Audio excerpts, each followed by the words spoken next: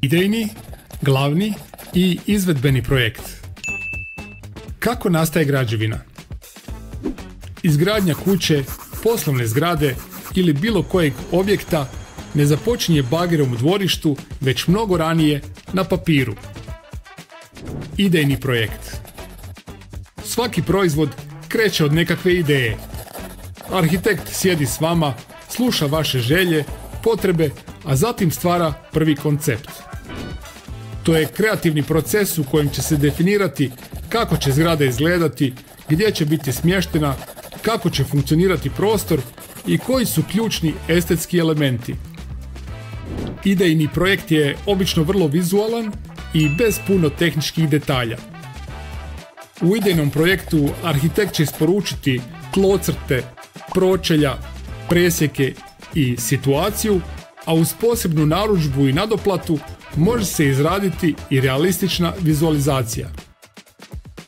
Idejni projekt je veliki dio posla gdje se vidi vještina arhitekta i tu se postavlja osnova buduće zgrade. Glavni projekt U glavnom projektu arhitektu koji je osmislio zgradu priključuju se inženjeri drugih struka.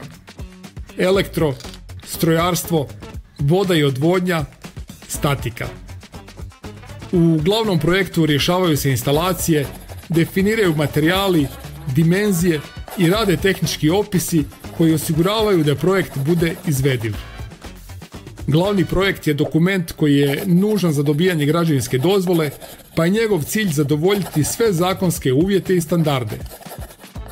Važno je napomenuti i sljedeće. U Hrvatskoj postoje građevine za koje se ne ishodi građevinska dozvola, no za koje je svejedno važno imati glavni projekt. Dva najznačajnija primjera su pomoćne zgrade, primjerice garaže, spremišta i slično, i bazeni do 100 metara kvadratnih. Izvedbeni projekt Dok je glavni projekt usmjeren na dobijanje građevinske dozvole i sadrži bitne tehničke podatke, izvedbeni projekt je taj koji daje precizan plan rada. U izvedbenom su, pogotovo kod složenijih građevina, ponovo uključeni inženjeri svih struka. Arhitekt, građevinski inženjer, elektro i strojarski inženjer. Svaki materijal, svaki spoj, svaka instalacija je precizno definirana i time se omogućuje rad prema planu i bez improvizacija. Izvedbeni projekt ima pravu operativnu funkciju na gradilištu jer ga izvođači koriste kao glavni vodič tijekom izvođenja radova.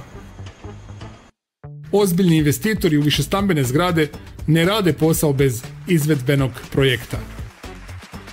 Za kraj, bitno je napomenuti da troškovi projekata čine jedan mali udio u cjelokupnom trošku gradnje, no njihov je značaj ogroman. Kvalitetan projekt već u startu stvara uvjet za veliku vrijednost buduće nekretnine.